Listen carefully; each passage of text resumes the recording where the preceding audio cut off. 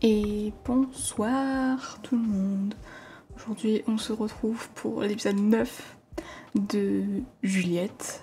Alors, euh, comme vous savez, j'ai perdu mes parties, mais du coup, ce que j'ai fait, c'est que j'ai mis euh, l'apparence euh, avec la peau noire pour, pour Millie, parce que elle est noire et qu'en plus elle a quasiment la même couleur de cheveux. Bon, ça ne ressemble pas tant que ça, mais c'est juste pour euh, plus tard sur les illus au moins. elle aura euh, sa couleur de, peau, je crois. Si je me trompe pas, ça, ça change. Bref.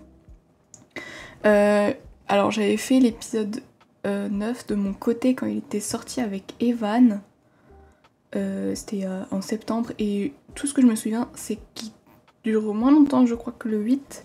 Je suis pas sûre. Bon, d'un côté si c'est le cas, je peux vous mytho que ça m'arrange parce que ça m'a bien pété la voix. Euh. bon, là, je fais une pause un tout petit peu pour euh, filmer la suite de, de, l'épisode 9. Mais euh, ouais, ça m'a bien pété la voix. Donc, on perd pas plus de temps. C'est parti. 31 octobre. Ce soir, on s'est retrouvés entre gens du lycée pour une soirée Halloween chez Lorraine. C'est la première fois des vacances d'octobre que je revois quelqu'un d'autre que Rachel. Disons que j'en ai profité du fait d'être en vacances pour me déconnecter un peu des problèmes du monde entier. Et pour l'instant, je m'en sors pas trop mal. Enfin, j'ai réussi à arrêter de m'occuper des affaires de tout le monde, mais malheureusement, ça m'a l'air d'être trop tard pour que cela change quoi que ce soit. Mes camarades sont tellement habitués à ce que je me mette de tout que je suis la première personne vers laquelle ils se tournent en cas de besoin. Je suis flattée, bien entendu. Mais entre les cours, les devoirs, mes 36 000 clubs et les heures et les 8 heures de sommeil recommandées, je commence à manquer de temps pour. J'ai l'impression d'être un disque rayé, mais serait-ce trop euh, demander de n'avoir rien qu'une discussion avec Juliette euh, qui ne soit interrompue par quelqu'un d'autre? Mais bon, pour être tout à fait honnête, je pense. Je ne pense pas que je puisse complètement arrêter de vouloir aider les gens qui comptent pour moi. Et même les inconnus. Parfois. Pour ne pas aider, ma mère demande aussi beaucoup de mon temps ces derniers jours pour qu'on passe du temps avec Carmen et Edouard. Ou même pour simplement faire du tri dans les cartons qu'on n'a pas encore ouverts depuis notre emménagement en début d'année. Mais faire du tri alors que j'ai l'impression d'avoir déjà dû jeter les trois quarts de mes affaires avec notre déménagement, ça me paraît vraiment inutile. Euh, par exemple, je n'avais pas de costume à me mettre pour cette soirée Halloween et c'est Sarah qui a dû me prêter un costume à elle puisqu'on a un gabarit similaire. Je dois choisir euh... Celui-là.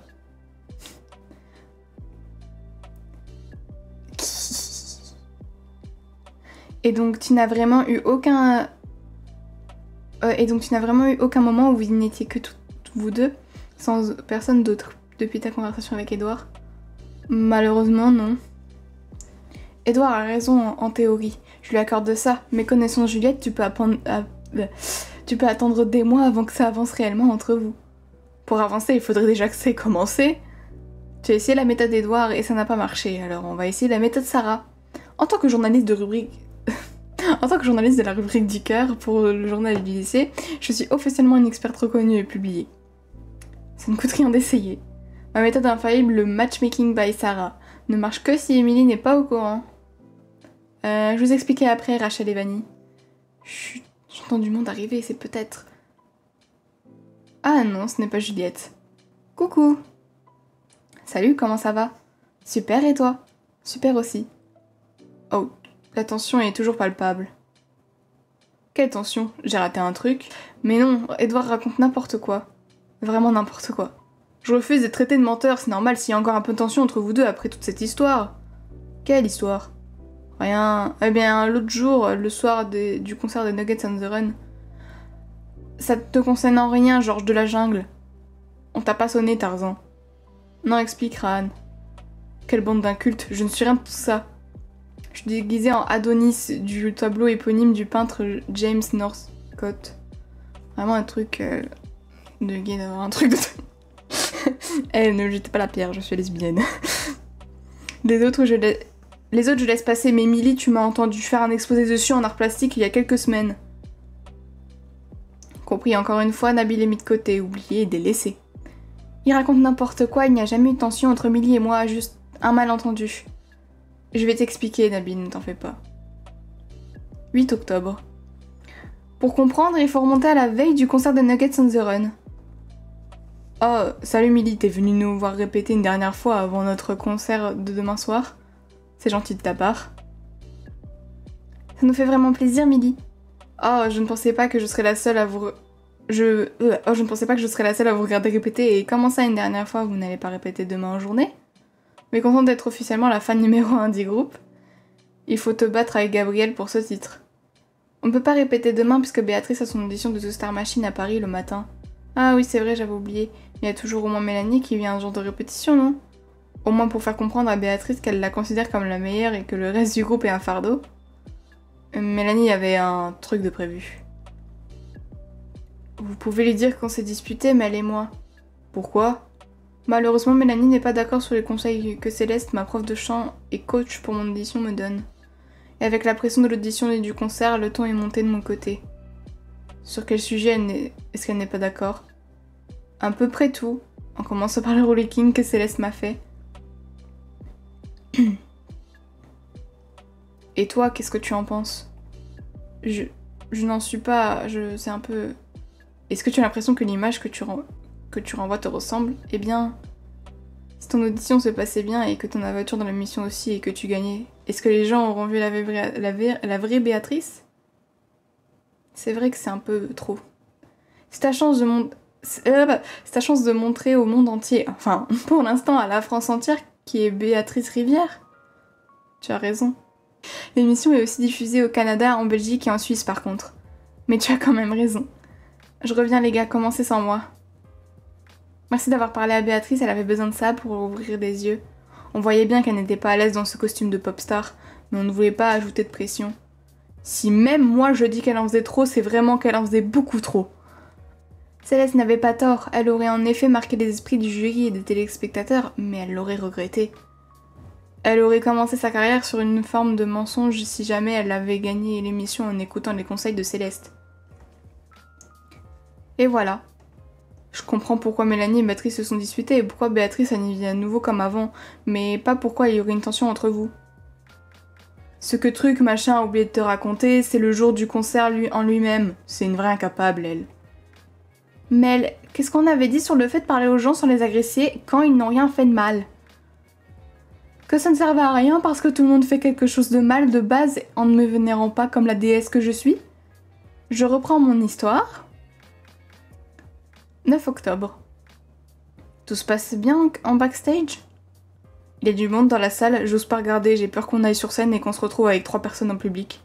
Bien plus de monde de ce à quoi je m'attendais, au moins une centaine. Je suis étonnée à chaque fois en voyant le nombre de personnes qui se pointent pour nous voir jouer. C'est grâce à toi, Milly, et tous tes amis qui ont fait passer le mot. Même ma mère vous a fait de la pub auprès de ses collègues. Mais non, c'est grâce à vous et à vous uniquement. C'est vous qui gérez la pub sur les réseaux sociaux et on sait qu'il n'y a que ça qui fonctionne réellement.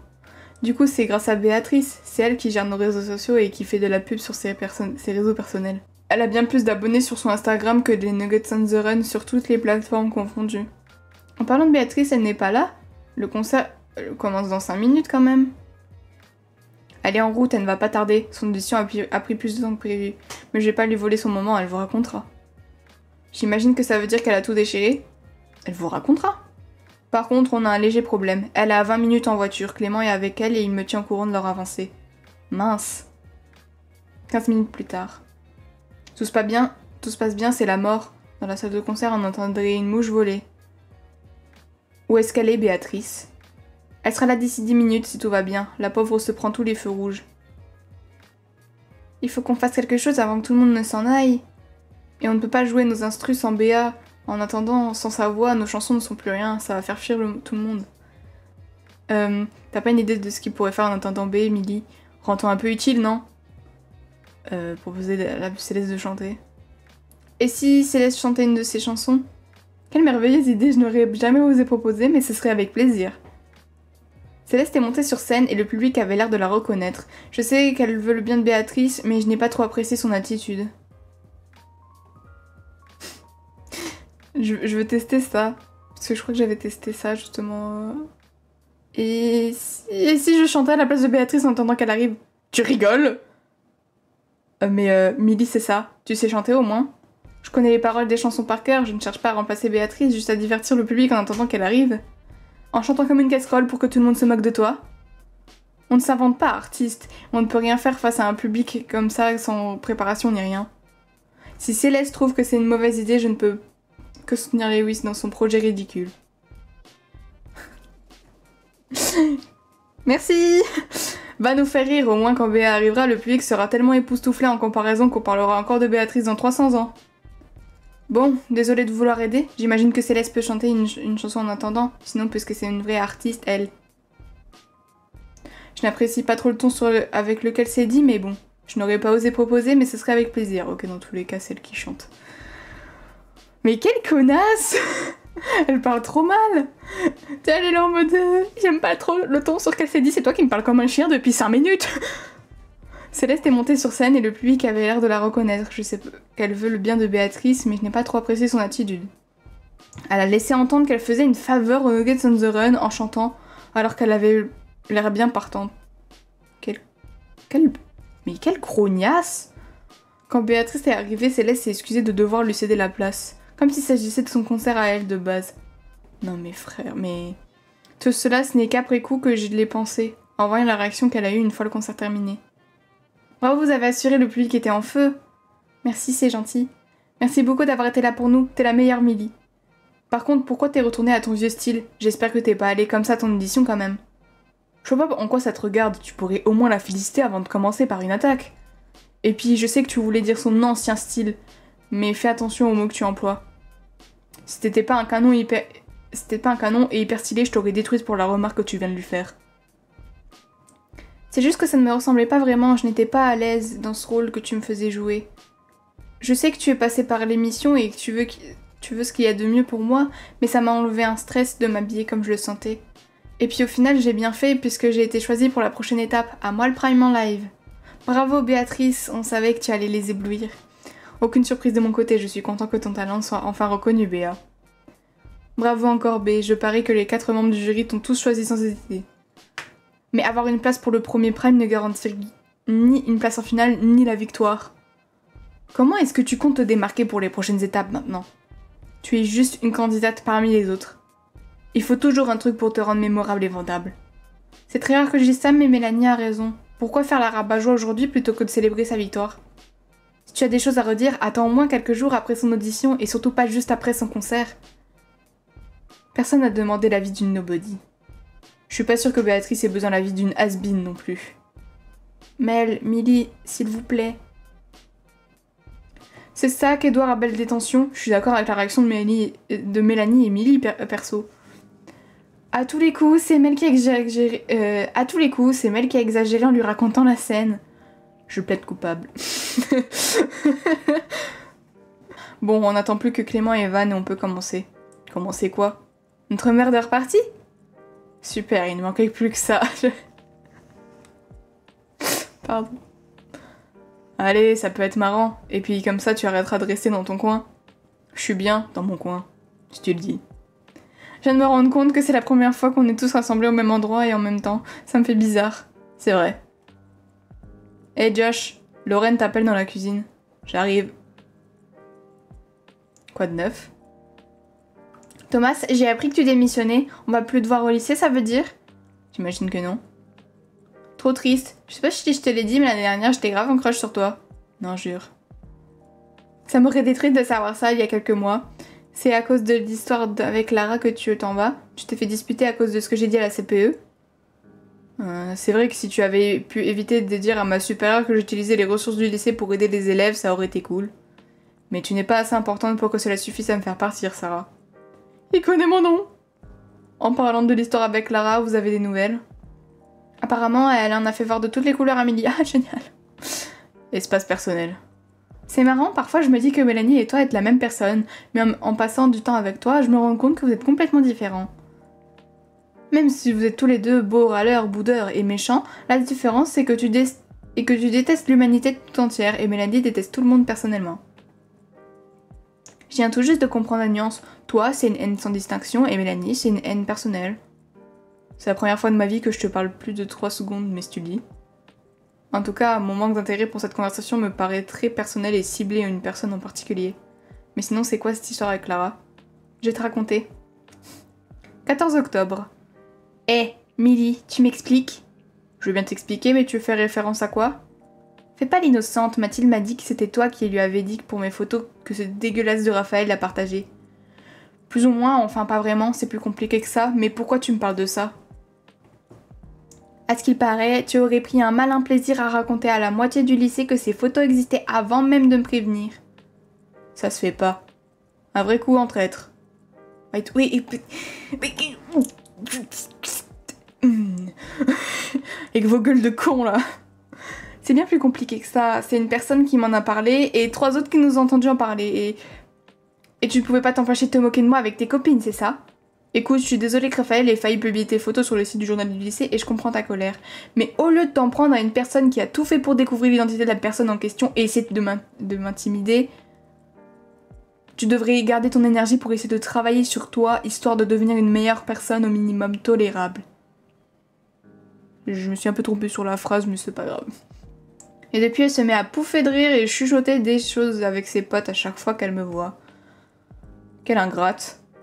On aurait dû laisser Raphaël publier ses photos, tiens. Non, du tout. Mais bon, en tout cas, tant mieux pour elle si son petit copain la soutient.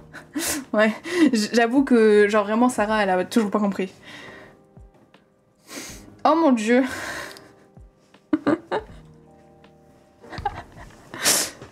Moi, j'ai une question, c'est pour la science. Est-ce que c'est ses vrais abdos ou pas Salut la compagnie, les stars sont là Désolée pour le retard, mais Evan refusait de mettre son costume de chat noir.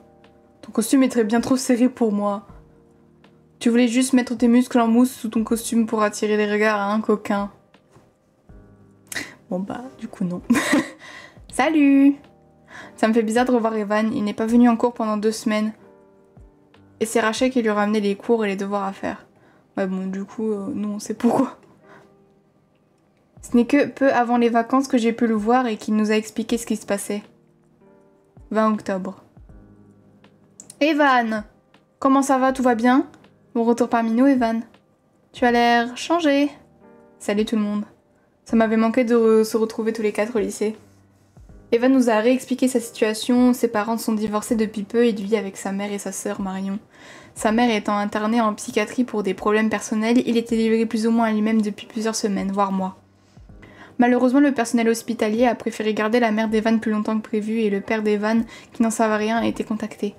Evan et Marion lui avaient caché l'état de santé de leur mère par peur de devoir aller vivre avec leur père qui habite désormais à Paris. Déménager à un peu plus d'une heure trente en voiture d'ici, ça peut dire ça veut dire changer de lycée et ça voudrait dire ne plus nous revoir avant un moment. Après deux semaines chez leur père à négocier les termes non officiels de garde, celui-ci a accepté de vivre avec eux en attendant que leur mère aille à mieux. En tout cas, ce petit séjour à Paris ne t'a pas fait de mal. Ton nouveau style fait. Euh, en tout cas, ce petit eh, en tout cas, ce petit séjour à Paris ne t'a pas fait de mal. Ton nouveau style fait bien moins jeune garçon et plus jeune homme. Mais gusta Depuis quand tu as besoin de lunettes, au fait, ça te va bien? C'est pour mieux me voir, c'est ça? Ça fait un moment que j'ai une ordonnance pour des lunettes, mais ma mère n'avait pas les moyens pour mes lunettes et le nouveau job de mon père paye bien mieux que celui qu'il avait ici. Merci, monsieur Corneille, d'être redevenu riche. Je sais que ton cerveau ne va pas comprendre ce que c'est d'être dans le besoin, mais ne plus être pauvre, ça ne veut pas dire. Bon, arrêtons de parler de la situation des vannes, il est visiblement mal à l'aise. Salut les pauvres, quoi de neuf depuis ma petite absence, je vous ai manqué? Marion c'est marrant de voir deux réactions totalement différentes à la même situation. ok. On a... Ok. Ok, ok. Par contre, on m'a promis une murder par... contre, on m'a promis une murder party, alors on a intérêt à commencer tout de suite. C'est parti, je vais vous expliquer les règles, on va commencer. Par contre, j'aurai besoin d'un juge qui fera office de maître du jeu. Prums pour être juge. Est-ce que c'est encore un de ces moments où je reconnais pas quelqu'un que je suis censée connaître? Pour le coup, j'ai aucune idée de qui il s'agit non plus. C'est Gabi, le colloque de Lorraine. Ah, c'est lui le fameux ex? Il a changé depuis la dernière fois que je l'ai vu. Il est plutôt mignon. Si je n'étais pas avec Ilyes, j'aurais bien glissé mon numéro dans sa poche. Sarah Qu'est-ce qui se passe? Ta soirée est annulée? Ouais, Samvi et Tara sont partis chez leur tante pour les vacances et comme je ne connaissais personne d'autre, j'ai préféré rentrer à la maison. Bon, bonsoir tout le monde, si vous me connaissez pas, je suis Gabrielle, mais je préfère que vous m'appeliez Gabi. Mes pronoms sont il et elle, et que vous pouvez utiliser de manière euh, interchangeable, pareil pour les accords, c'est masculin ou neutre. Euh, pour ce qui est de la murder party, je laisse Lorraine vous expliquer le concept. Je serai maître du jeu et c'est moi qui superviserai la partie. Chez nous, on a des règles un peu différentes. Chez nous, on a des règles un peu différentes des autres euh, soirées meurtres et mystères. On est plus entre le loup-garou et la partie d'Among Us en vrai. Tout le monde participe au jeu, sauf le juge qui supervise la partie, on distribue des cartes à tout le monde. Si votre carte a un numéro, vous n'avez aucun rôle particulier. Si votre carte a une loupe, vous êtes détective. Si votre carte a un œil rouge, vous êtes meurtrier. Le juge a sa propre carte représentant une balance. Mais comme vous n'y avez jamais joué, on préfère le choisir nous-mêmes plutôt que de distribuer sa carte. Oula, je commence déjà à être perdu, les règles de jeu sont les règles de jeu trop compliquées me donnent mal à la tête. Si tu te sens trop mal, je vais prendre soin de toi, ne t'en fais pas. ni les détectives, ni les deux meurtriers ne peuvent dévoiler leur rôle. Vous devez faire semblant d'avoir une carte numéro. Les personnes avec un numéro peuvent le dévoiler sans montrer leur carte. Pour le meurtrier, le but du jeu est de tuer le détective. Pour le détective, le but du jeu est de découvrir qui est le meurtrier. Le but du jeu pour les gens avec un numéro, c'est de réussir à attribuer chaque numéro à la personne correspondante. Il faut vous mélanger et discuter avec tout le monde pour ça.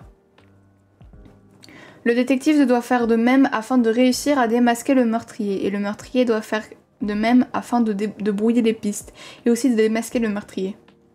Le meurtrier tue un joueur en lui montrant discrètement l'œil rouge sur sa carte. Il ne peut montrer sa carte qu'à une personne par minute. Un joueur lambda qui se trouve face à l'œil rouge doit compter jusqu'à 60 dans sa tête.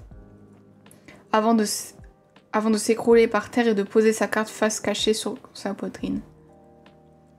Si le meurtrier montre l'œil rouge au détective, la partie se termine, le meurtrier a gagné.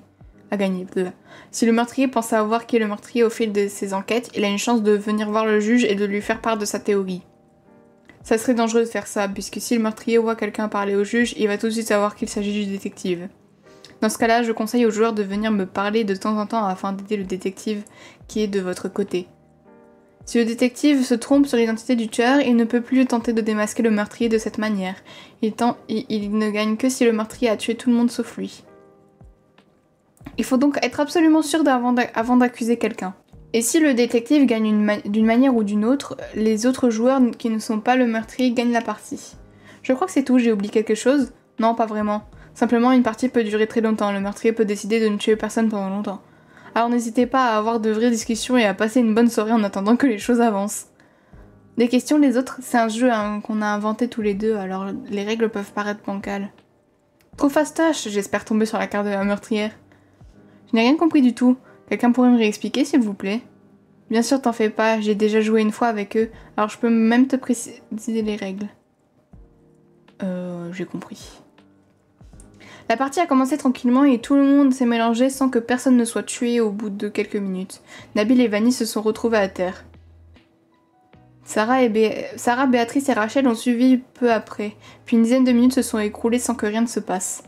Tout le monde est un peu resté dans son coin, et les discussions se sont faites rares, par peur de, de connaître le même sort que les autres. J'en ai profité pour parler un peu à tout le monde tout en menant mon enquête. Ok.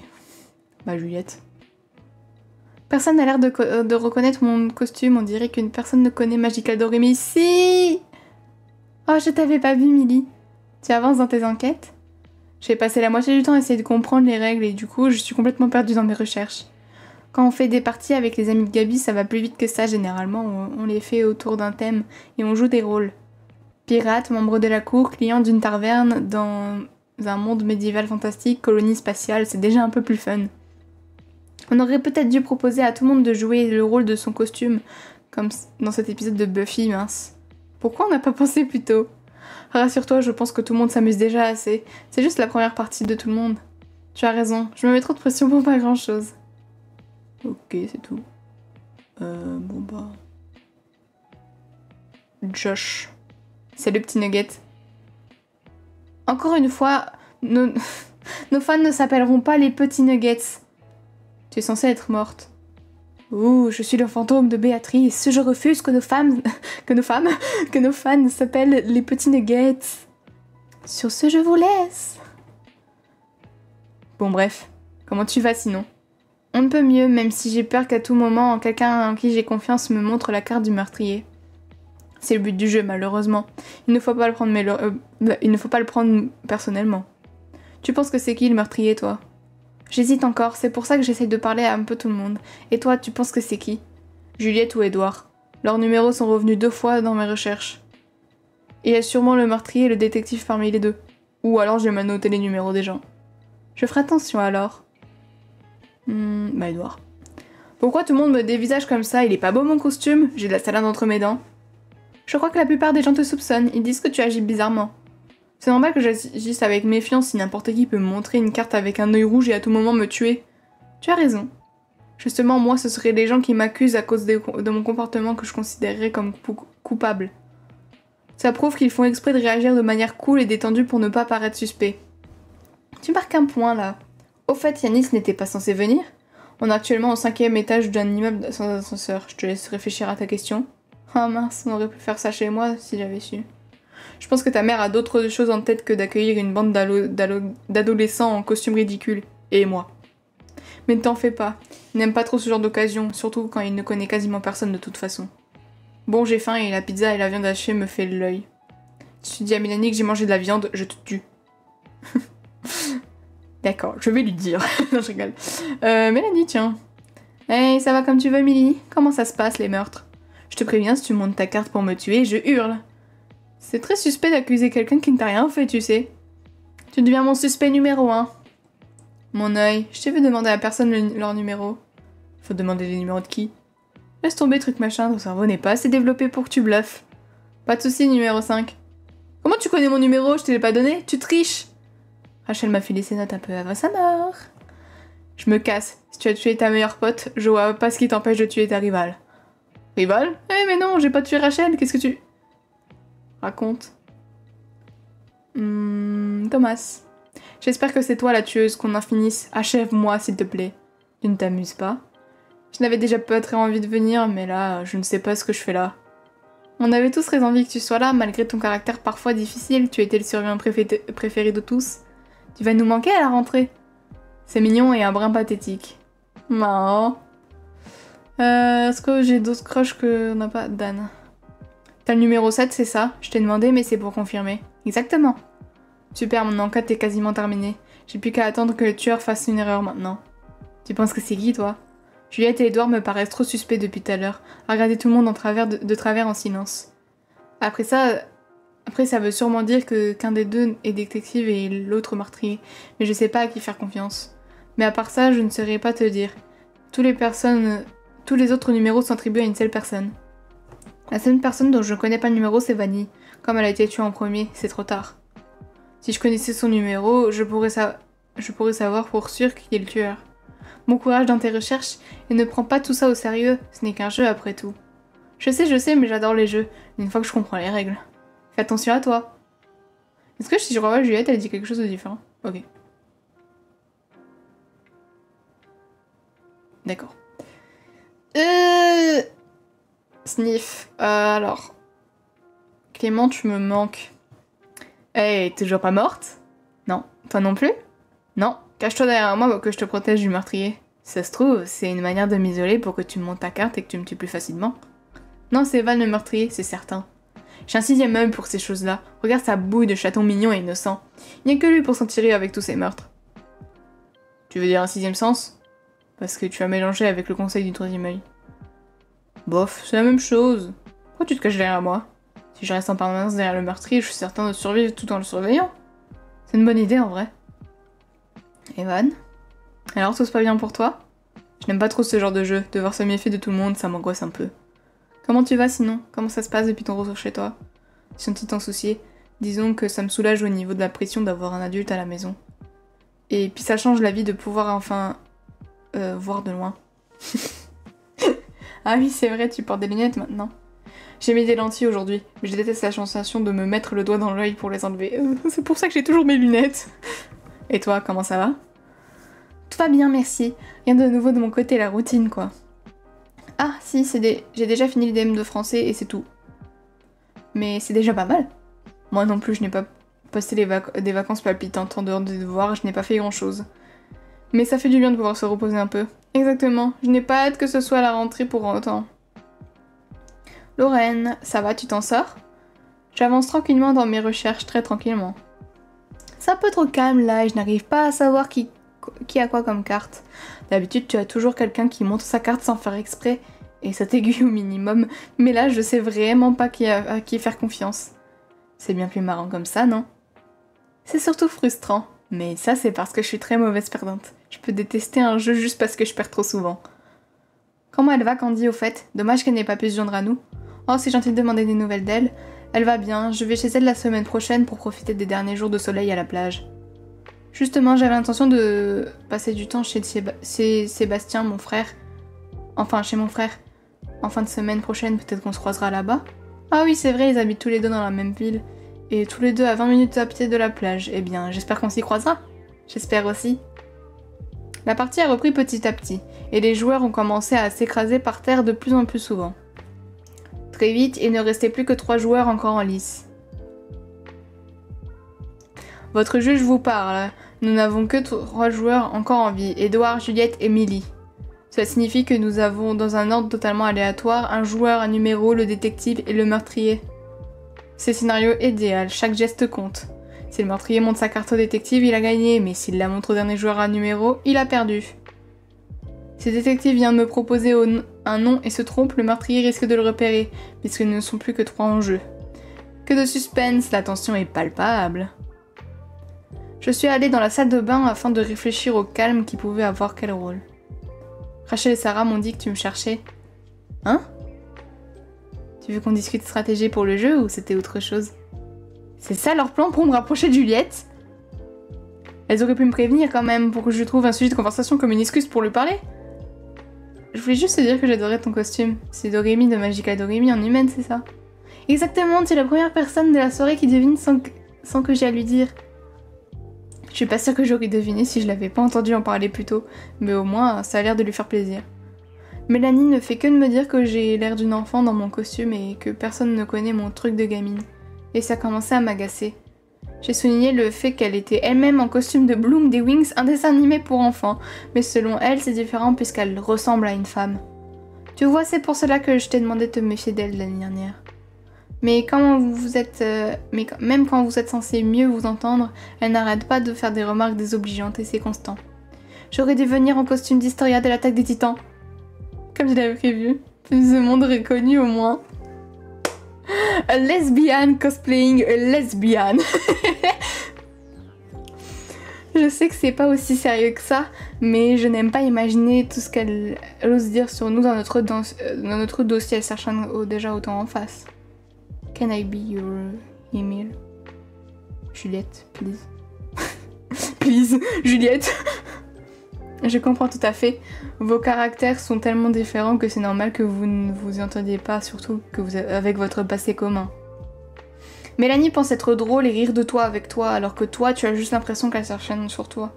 Malheureusement, à part limiter tes interactions avec elle, je ne sais pas trop quoi te dire. Elle ne changera pas, alors à toi de te protéger. Tu as raison. Je sais que j'ai tendance à être trop facilement trop sensible. Mais comment faire la différence entre une moquerie gentillette et un mélange d'intimidation et d'humiliation quand tout est dit de la même manière Enfin, désolé de me confier à toi comme ça, mais Lorraine ne comprend pas que je n'arrive pas à faire la différence entre les deux. Mais dans les deux cas, les mots de Mélanie me, me blessent. Ce qui est normal pour Lorraine, puisque la vie lui a fait développer une sorte de carapace à ce genre de remarques, j'imagine. Personnellement, je ne lui ferai jamais, je pense.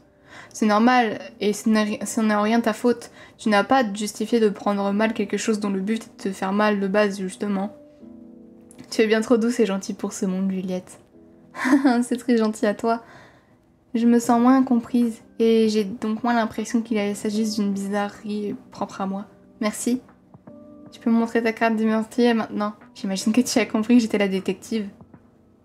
Ma carte du... Inutile essaie de me convaincre du contraire. Bon, je vais être honnête alors. Désolée de te trahir, mais pour le coup, j'étais seule contre tous. Je ne peux pas me permettre de te laisser gagner si près de la victoire.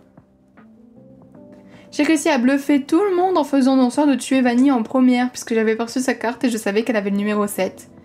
Ainsi, j'ai pu convaincre tout le monde que j'étais innocente, puisque heureusement pour moi, Juliette faisait semblant d'avoir un autre numéro au lieu d'être de sa carte détective. J'étais la seule qui m'a démasquée et elle ne m'a pas dénoncée alors qu'elle aurait pu gagner. Et une partie de moi se réjouit beaucoup de cette information. La soirée continuait dans la bonne humeur et tout le monde a eu l'air de vraiment s'amuser. Je suis rentrée chez moi le sourire aux lèvres en repensant à la soirée avant d'être interrompue par un message de mon amie Candy. Toujours ok pour le week-end prochain, il s'annonce des températures hautes en plus du soleil, c'est super. Oui, j'ai trop hâte. En plus, il n'y a jamais personne début novembre. Il n'y aura personne pour nous embêter.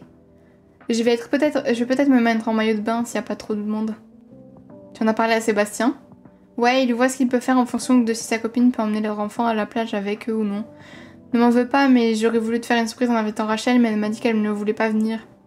Du coup, comme apparemment Rachel et ta pote Sarah essayent de te caser avec Juliette, elle m'a demandé si elle pouvait proposer à Juliette de venir à sa place. Tout en disant que ce serait une surprise puisque tu n'as pas envie d'y aller toute seule et que personne d'autre ne peut. OMG, c'était quoi sa réponse? C'était oui, bien évidemment, ma mère vient de vous chercher Juliette et toi vendredi, si ça te va. fais semblant d'être surprise quand tu verras quelqu'un d'autre que Rachel dans sa voiture. Bien sûr que ça me va Merci à vous trois, OMG Let's go Du coup, j'ai trop hâte de... de... de, euh, de voir euh, le prochain épisode. Ça veut dire que, genre... Euh, on va revoir Candy, du coup. Euh, je sais qu'on va l'avoir en maillot de bain parce qu'il y, a, euh, y a eu une vidéo que le créateur a sortie avec les changements à venir. Comme j'ai dit, on les verra au début de l'épisode 10 avec euh, Lorraine. Et, et, voilà. J'ai trop hâte qu'il sorte, bon de toute façon c'est bientôt. Faut juste un peu patienter entre 4 jours et. et, et. et 14 jours. Entre 4 jours et 14 jours, ouais, je pense. À peu près. Euh, euh, juste, je préfère prévenir si euh, l'épisode sort entre. Euh, enfin. encore si c'est entre le, le, premier et le 7, ce sera faisable, mais s'il sort vraiment. J'ai de la chance s'il sort le, samedi. Parce que du coup, j'aurai encore le temps de filmer. Mais ensuite, vous en aurez un par semaine. Enfin, dans tous les cas, vous en aurez un par semaine si ça commence à sortir tard. Et je pense que dans tous les cas, vous en aurez un par semaine parce que je serai super fatiguée de mes vacances et que j'aurai le temps de faire ça que euh, les week-ends du coup après à cause des cours. Donc voilà, j'espère que cet épisode vous a plu. Si vous voulez me voir plus souvent, n'hésitez pas à venir sur Twitch, c'est cool Twitch. Euh, je suis en live souvent, donc euh, voilà. J'ai pas grand chose à dire, n'hésitez pas à rejoindre le serveur Discord aussi, c'est sympathique. Euh, j'espère que l'épisode vous a plu. On se retrouve bientôt pour l'épisode avec... Euh, ce sera Lorraine? Non, ce sera Clément. Lorraine? Lorraine. Bah oui, Lorraine du coup. En fait, j'ai l'impression que j'ai fait, fait Lorraine euh, il y a deux secondes, mais c'est parce que je l'ai littéralement filmé hier, donc oui. ouais, donc on se retrouve bientôt pour l'épisode de Lorraine. Je vous fais... je vous souhaite de bonnes bah non, je peux. Attends, est-ce que je peux faire cette vanne? À l'année prochaine